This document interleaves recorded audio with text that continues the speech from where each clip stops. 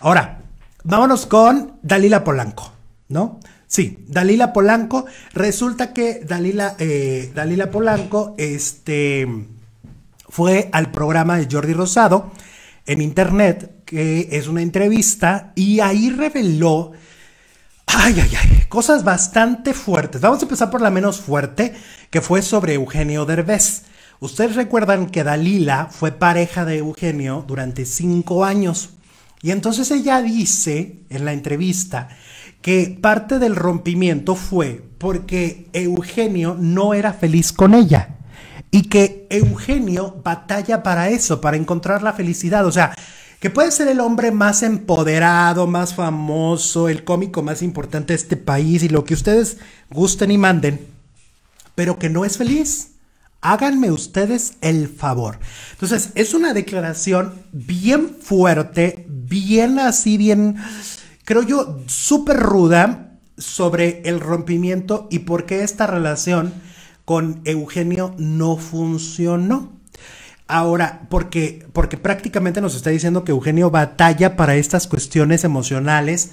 Yo digo, igual y a lo mejor no ha ido a terapia, no sé. Total de qué es lo que dijo.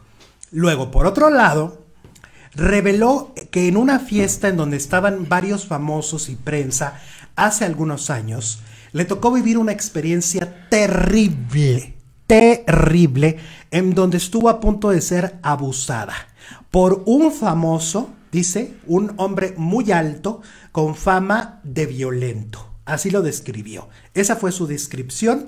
Ella narra que estando en la fiesta, él le dice, pues tú me gustas y te vas conmigo.